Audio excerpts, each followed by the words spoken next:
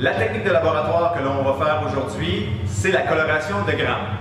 La coloration de Gram a été inventée à la fin du 19e siècle par le chercheur Hans Christian Gram, qui est un chercheur danois. Cette coloration-là est une coloration très importante en microbiologie. C'est une coloration de base que l'on fait euh, tout le temps. Cette coloration-là va nous permettre de faire la distinction entre les bactéries dites Gram plus et les bactéries dites Gram moins. À la fin de cette capsule euh, vidéo, j'expliquerai le principe théorique derrière euh, cette coloration-là. Mais pour l'instant, commençons par les manipulations qui doivent être réalisées. Toujours mettre ses lunettes de sécurité pour éviter tout accident. Donc, pour débuter la coloration de grammes, donc je dois m'installer. J'ai mon, euh, mon brûleur qui est ici, euh, mon briquet, j'ai des lames. Les lames, je, les ai déjà identifiées euh, au nom de la bactérie. si vous avez des lames sur lesquelles il n'y a pas de petites zones blanches sur lesquelles vous pouvez écrire, vous pouvez identifier peut-être la pince sur laquelle sera maintenue la lame. Euh, ou trouver une autre façon de vous rappeler quelle bactérie est présente sur quelle lame. Aussi, petit truc, quand vous écrivez sur une lame comme celle-là, prenez un crayon de plomb parce qu'on va faire un traitement à l'alcool plus tard et quand on écrit avec un, marqueur, un crayon Sharpie, euh, il est possible que l'alcool efface ce qui a été écrit avec le Sharpie, tandis que le crayon de plomb va résister beaucoup mieux. Donc, j'ai mes deux lames identifiées ici. Les bactéries que j'utilise sont sur des géloses. Donc, j'ai la bactérie E. coli. E. coli, c'est une bactérie euh, quand même assez, assez connue euh, qu'on peut retrouver dans le gros intestin euh, des mammifères. On, peut la retrouver chez l'humain aussi. Et Coryzophila, qui est une bactérie qu'on peut retrouver dans l'environnement ou peut-être sur la peau des personnes. Euh, pourquoi j'ai pris ces deux bactéries-là? C'est que E. coli est une bactérie de type gram-, un bacille gram- pour être précis, et Corizo est un cocci, donc une bactérie qui aura l'apparence euh, d'une petite bille, qui va être une bactérie ronde, euh, puis gram plus.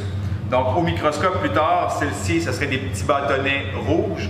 Celles-là, ce seront des petites billes bleues que l'on verra. Et en plus de ça, ce seront des petites billes bleues qui vont être regroupées en groupes de quatre qu'on appelle des tétrades. Donc, j'ai vraiment pris deux bactéries là, différentes pour faire la démonstration.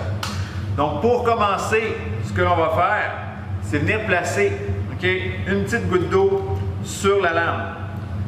Ce que je veux faire avec ça, c'est ce qu'on appelle un frottis. Donc, je vais prendre des bactéries, je vais les placer dans les gouttes d'eau qui sont là et je vais faire sécher cette eau-là, ce qui va faire en sorte que les bactéries vont adhérer euh, sur la lame et à ce moment-là, elles ne vont pas être éliminées par les différentes étapes de coloration. Donc, pour débuter, je me crée un environnement stérile. Donc, avec mon brûleur Bunsen que j'allume, je prends une tige qu'on appelle une tige de coche que je vais stériliser à la flamme. Donc, il faut vraiment s'assurer que ma tige est bel et bien stérile parce que ce que je veux voir, ce sont les bactéries Carisophylla et E. coli et non pas n'importe quelle autre bactérie ou micro-organisme qui serait présent sur la lame. Donc, je fais refroidir un petit peu ma lame, mais je conserve euh, mes manipulations à l'intérieur de cet environnement stérile-là, qui est la chaleur euh, qui est créée par le, Beck Bunsen, va créer un environnement qui est stérile autour de cette zone-là. Donc, je prends la bactérie E. coli et je vais venir en chercher une petite quantité avec mon manche de coche. Petite quantité, vous n'êtes pas obligé d'en prendre euh, une tonne. Je vais venir étaler les bactéries sur la lame, donc dans la goutte d'eau, là j'essaie d'en mettre sur une plus grande surface. On ne veut pas avoir une euh, trop grande concentration de bactéries à un seul endroit, sinon au microscope ça va être très difficile de distinguer euh, la forme des bactéries. Donc je dépose, je restérilise,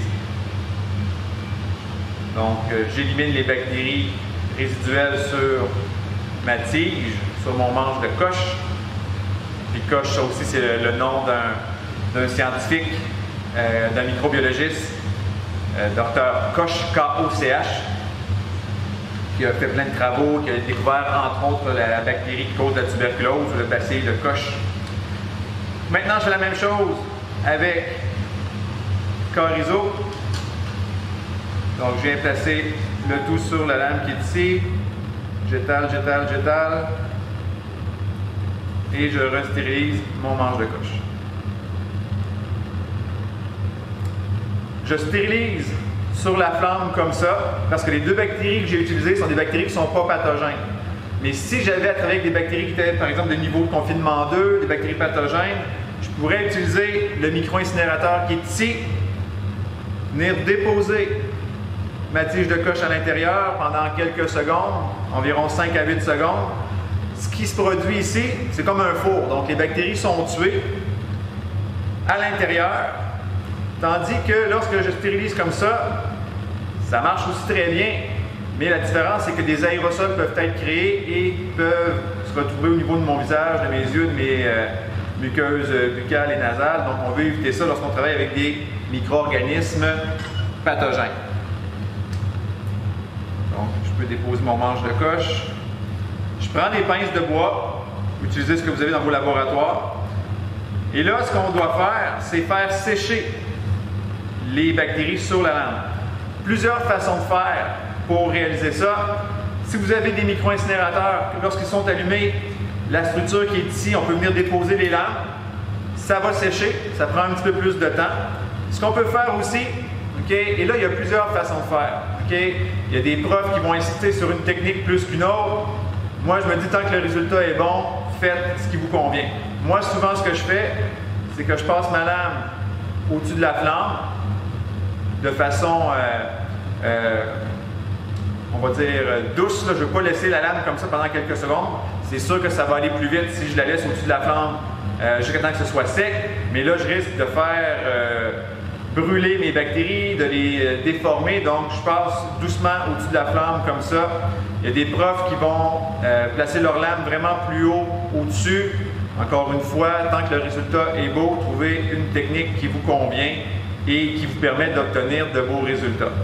Parce que si je fais cuire mes bactéries au-dessus de la lame euh, trop longtemps, ça va les déformer, puis ma coloration ne sera pas belle, puis le résultat ne sera pas très très bon non plus.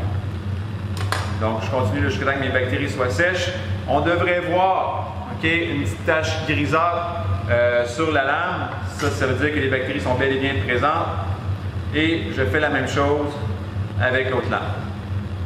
Une fois que nos frottis sont faits, donc on amène le tout près de l'évier. Euh, souvent, vous allez avoir un support comme celui-là pour placer vos lames. Donc, j'ai mis mes deux, euh, mes deux pinces de bois ici. Mes lames sont là. La première étape, en fait, la coloration de grammes, c'est une coloration qui se fait en quatre étapes. Donc, on a les quatre produits ici. Donc, on a le violet cristal au départ. Ce violet cristal-là va colorer toutes les bactéries en violet. C'est la première coloration, c'est le colorant primaire. Ensuite, on va avoir une solution d'iode qui va agir comme un mordant, donc qui va fixer le colorant violet cristal sur les bactéries.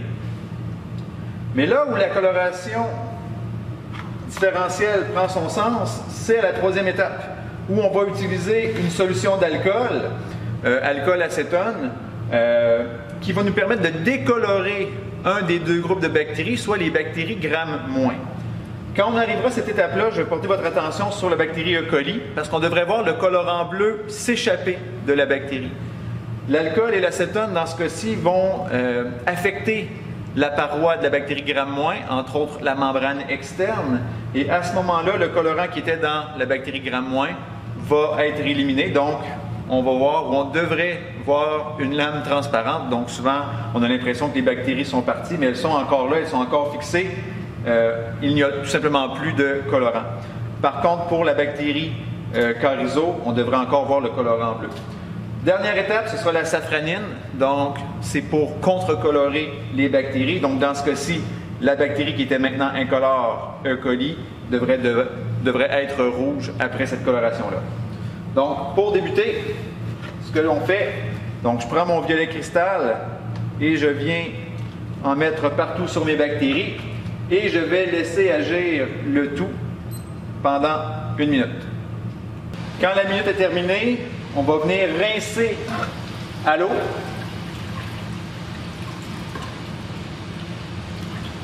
Donc, je vais tout simplement retirer le violet cristal ou l'excédent de violet cristal sur la lame.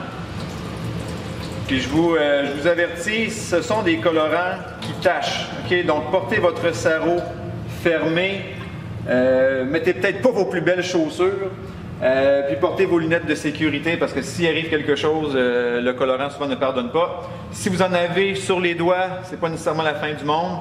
il y a certains produits que l'on peut retrouver en laboratoire euh, qui vont nettoyer euh, ces taches-là. Sinon, après quelques jours, avec une hygiène des mains normale, vous devriez être correct. Donc, on voit ici que mes bactéries sont toutes les deux colorées en violet. Donc, j'enlève l'excédent d'eau. La prochaine étape, c'est que je vais rajouter une solution d'iode.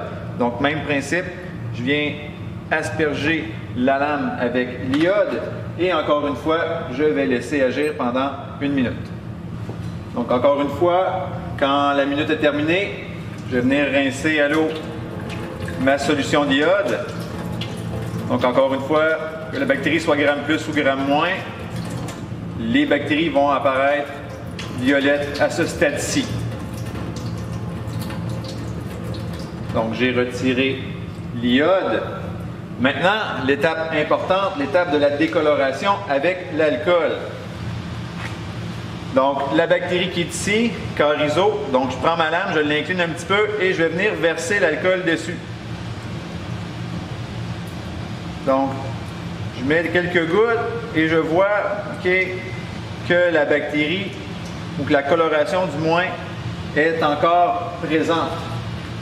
Si je mets ça comme ça, donc on voit encore du violet sur la lame. Si je fais la même chose avec E. coli, qui est une bactérie gramme moins, je ne sais pas si vous voyez bien, déjà le colorant est parti. Donc si on regarde comme ça, il n'y a pratiquement plus rien sur la lame. En fait, on ne voit plus rien. Les bactéries sont encore présentes, mais euh, le colorant a été complètement éliminé de la surface de la lame grâce à l'alcool. Une fois que ça c'est fait, je rince un petit peu à l'eau. Et par la suite, dernière étape, donc je vais venir contre-colorer avec la safranine, encore une fois, pour une minute. Donc, une fois que la coloration est terminée, je vais rincer une dernière fois avec de l'eau. Donc j'enlève le surplus de safranine. Si on regarde maintenant la bactérie gramme moins, on voit la coloration rouge euh, sur la lame, tandis que la gramme plus est encore violette. Pour assécher maintenant les lames, je vais prendre un papier buvard, un papier Bibelus comme celui-là. J'ai déjà euh, retiré deux feuilles et je vais venir déposer mes lames là-dessus pour absorber le surplus de liquide. Certaines personnes font juste prendre le, feuillet comme ça et placer les lames dedans, mais ça fait, disons, un travail un petit peu plus euh, salissant, peut-être pas euh, aussi propre qu'on le souhaiterait, mais bon, chacun sa façon de faire. Et une fois que c'est fait, je prends mes lames et je vais observer le résultat au microscope. Donc voici ce à quoi devraient ressembler vos lames, à peu de choses près. Donc, à gauche, on a une bactérie gramme positif, à droite, une bactérie gramme négatif. Maintenant, c'est beau savoir ça, mais il nous reste encore à découvrir la forme des bactéries. Donc, il est, important d'aller au microscope, de se rendre à 1000X avec l'huile à immersion et de regarder la forme de la bactérie, soit cocci, bacille ou même certaines bactéries qui seraient des spirochettes, des espèces de petits euh, tire-bouchons, mais aussi l'arrangement. Est-ce que les bactéries sont euh, simples, euh, double, en chaîne, en grappe ou en tétrade comme Coryzophylla. Donc, c'est plein d'informations qu'on devra aller chercher au microscope. Pour expliquer maintenant le concept théorique qui explique comment la coloration de grammes fonctionne, ben, il faut au départ connaître la structure des bactéries. Donc, si on regarde sur l'image qui est ici, dans la partie supérieure, donc on a une bactérie dite gramme positif. Donc, si on prend la bactérie qui est ici et que l'on regarde, euh, on fait un zoom sur cette région-là, donc on voit ici donc la membrane cellulaires ou membranes plasmiques. Nos cellules eucaryotes ont aussi ce type de membrane-là qui est faite de phospholipides. Mais ce qui nous intéresse chez la bactérie, c'est son sa paroi. Donc son peptidoglycane qui est ici. Dans la bactérie gram le peptidoglycane est très épais. Si on va maintenant dans la bactérie gram-, donc on a une bactérie ici, on prend un zoom sur cette partie-là, donc on retrouve encore une fois la membrane plasmique. On peut aussi, dans ce cas-ci, l'appeler la membrane interne, parce que chez la bactérie gram-, on va retrouver deux membranes. Donc, membrane plasmique qui est ici. La paroi de la bactérie gram- est composée dans ce cas-ci de deux structures. Donc, on a une mince couche de peptidoglycane, et par-dessus le peptidoglycane, on a une membrane externe. Cette membrane externe-là peut contenir euh, des LPS ou lipopolysaccharides. Euh, ce qui est particulier avec ces structures-là, c'est que lorsque la bactérie ou si la bactérie meurt, elle peut libérer l'endotoxine A ou le lipide A et ça peut entraîner de la fièvre. Mais bon, c'est pas là l'objet euh, de la vidéo. Donc, si je reviens à la structure de la paroi, donc pour la bactérie gram-, il y a le peptidoglycane en mince couche et une membrane externe, tandis que chez la bactérie gram+, on a une épaisse couche de peptidoglycane. Donc, c'est ou ce sont ces deux euh, parois-là distinctes qui vont expliquer comment euh, la coloration fonctionne. Donc, si on regarde l'image qui est ici, je m'excuse encore une fois, c'est en anglais, mais on voit les différentes étapes. Donc, qu'est-ce qui se passe au niveau du frottis? Quand on ajoute le violet cristal, les deux bactéries, autant la bactérie gram plus que la bactérie gram moins, vont avoir une couleur violette. Quand on ajoute l'iode, ça renforce le lien du colorant avec les structures chez la bactérie gram positif. Donc, l'iode va agir comme un mordant. le violet va être bien installé ici. Mais ça va être plus difficile d'agir de façon efficace comme mordant chez la bactérie gram moins. Donc, par la suite, en ajoutant de l'alcool, la bactérie gram plus va demeurer intacte parce que le colorant est très bien fixé, tandis que chez la bactérie gram moins, ça va être euh, plus difficile de retenir le colorant. La membrane externe va être affectée aussi, donc le colorant va tout simplement disparaître. La bactérie est toujours là, mais le colorant s'est échappé. Dernière étape, donc quand on contre-colore avec la safranine, bactérie gram plus euh, est toujours violette, donc ça ne change rien. sa structure est saturée de colorant. Mais pour ma bactérie gram moins, qui venait tout juste d'être décolorée, mais à ce moment-là, elle va absorber le colorant safranine, donc le colorant rouge. C'est le résultat qu'on devrait obtenir. Donc, par exemple, pour E. coli à gauche, donc on voit des bacilles, donc des bactéries un petit peu plus allongées, de couleur euh, on va dire rose ou rouge, pâle, euh, tandis que pour une bactérie gram positif, la couleur va être bleue. Sur l'image qui est ici, donc ça c'est les, bactéries que j'avais euh, colorées au départ, donc E. coli, bacilli, gram moins, Cocuria rhizophila, qui était avant appelé Micrococcus luteus. Donc on voit des petites tétrades, des petits groupes de 4 cocci. Mais je pourrais très bien avoir des cocci rouges, donc des cocci négatifs, par exemple Neisseria, euh, Neisseria meningitidis, Neisseria gonorrhée, euh, des bactéries qui causent respectivement la méningite et la gonorrhée. Donc, ce seraient aussi des cocci, mais des cocci négatifs. Mais je pourrais très bien avoir aussi des bacilles, qui seraient eux des bacilles positifs. Donc, un bacille de couleur bleue, comme euh, euh, des Bacillus cereus, qui est une bactérie qui peut causer des intoxications alimentaires, ou Bacillus anthracis, qui cause l'anthrax, tous les Clostridium, euh, la, fameuse sédif, euh, Clostridium perfringens qui cause, la gangrène, Clostridium tétani qui cause le tétanos. Bref, on peut avoir ou bien des cocci ou des bacilles gram plus, ou bien des cocci ou des bâtonnets gram moins. C'est un ou l'autre. ce qui est important, c'est de bien reconnaître la couleur au microscope. Quand c'est rouge, c'est négatif. Quand c'est bleu, c'est positif. D'autres exemples ici, j'ai juste voulu montrer aussi que la coloration, bon, oui, nous permet de distinguer gramme plus, gramme moins, mais ça peut nous permettre aussi euh, de voir l'arrangement des bactéries. Donc ici, j'ai deux coccygrammes positifs.